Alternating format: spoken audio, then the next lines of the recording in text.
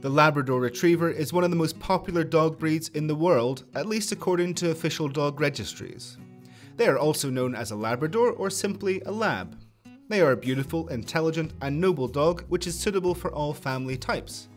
If you're thinking of adopting a Labrador Retriever, it's important to get informed. This is how you can begin to offer the best care, especially since they are such an intelligent and active dog.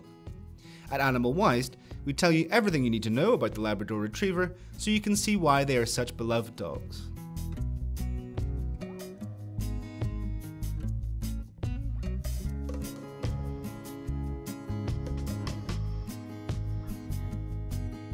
Despite their name, which refers to the province of Newfoundland and Labrador in Canada, the International Cynological Federation recognises the origin of the lab as British. The history of this popular breed is related more specifically to the island of Newfoundland and its capital St. John's. It is likely that the St. John's water dog is a direct ancestor of the Labrador and originates in Britain. These water dogs were taken to Newfoundland by English fishermen. These dogs had to be tough, hard-working and adept swimmers. They also needed to have dense fur to protect them from the icy waters of the north, with thick tails to help guide them in the water. The smallest variety of St. John's water dog would have given rise to different breeds of retriever, the Labrador Retriever being just one of them. By the mid 18th century, some dogs from St. John's were exported to England where they were used by a handful of breeders to obtain the perfect retriever. After several carefully bred generations, the Labrador Retriever was born.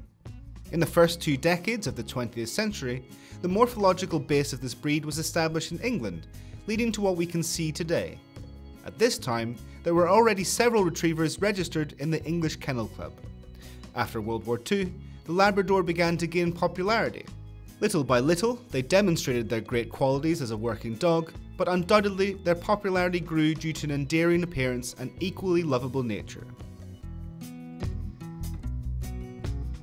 The Labrador Retriever is a medium-sized dog with a strong muscular and compact body.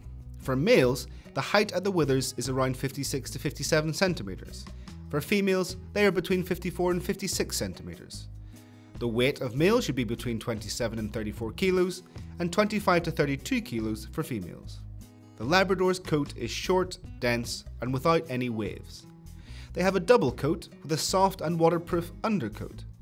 The outer coat is harder and helps maintain water insulation. The colours accepted for this breed are black, chocolate, and gold. The golden colour can range from light cream to reddish tones. Small white spots on the chest are acceptable. One of the most notable features of the Labrador Retriever is its character. Due to their friendly appearance and exceptionally sociable character, this dog is one of the world's most popular. Beyond being a companion animal, the stable character of these dogs has made them great rescue, therapy, and assistance dogs. They are a sociable, friendly, loyal, intelligent, and fun loving breed. They're easy to train, so they're great company if you have the time and space. The Labrador is usually very friendly, even with strangers, but needs to be properly socialized as a puppy.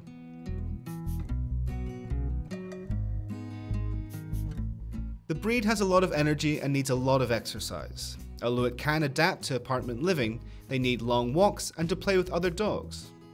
A fondness for water is one of this dog's behavioural characteristics. Despite its many great qualities, the Labrador can be demanding of attention. It is important to educate them properly when young so they avoid excessive attention seeking and separation anxiety later on. Additionally, labs tend to have a prolonged adolescence, so they are not the best pet for people who prefer to lead a sedentary life. They are a great choice for those who enjoy outdoor physical activities.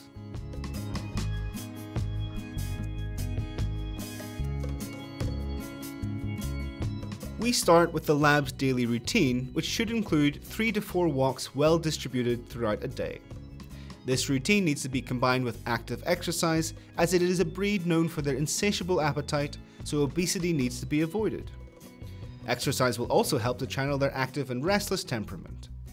We can play simple games with them, such as fetch, but agility training or exercise such as canicross are ideal. Swimming is also preferable for this breed. Toys are important to stimulate cognition and to channel their natural energy. Ideally, combine conventional toys such as Kongs with intelligence games for dogs.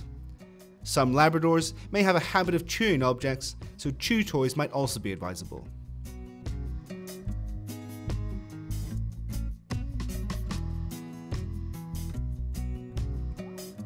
Keep their coat clean, they need brushed a couple of times a week and a bath once every two months, or when the dog is very dirty.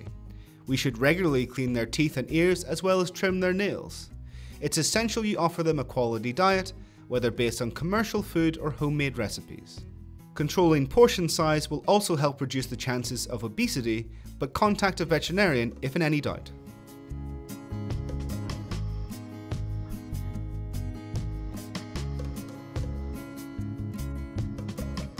The Labrador Retriever is a relatively easy dog to educate and train, thanks to its sociable character and predisposition toward affection and treats.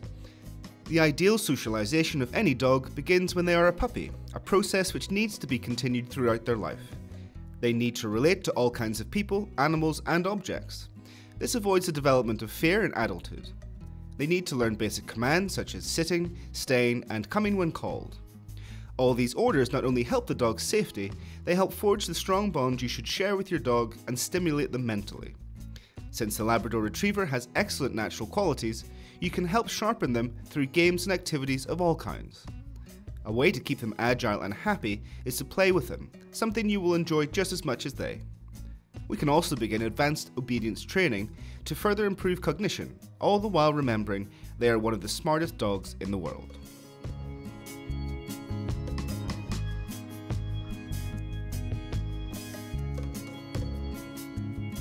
The Labrador Retriever is a relatively healthy and long lived dog. They stand out for their fitness and excellent health. However, excessive inbreeding in this breed has led to genetic diseases which, unfortunately, usually appear as the dog ages. A very common example is hip dysplasia. For our dog to enjoy a good state of health, ideally take them to a vet every 6 to 12 months. This will provide a basic review and highlight any health issues.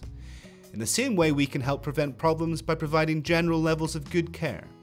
When they're a puppy, we need to initiate a vaccination schedule which needs to be maintained throughout their life. This helps prevent some of the most dangerous canine diseases. We should also carry out periodic deworming as prescribed by your veterinarian to protect against internal and external parasites.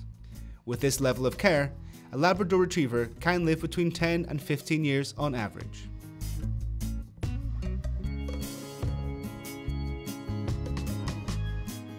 Now you know the most important aspects of the Labrador. Why not share your experiences in the comments? Like if you enjoyed the video, subscribe for more to come, and we'll see you next time.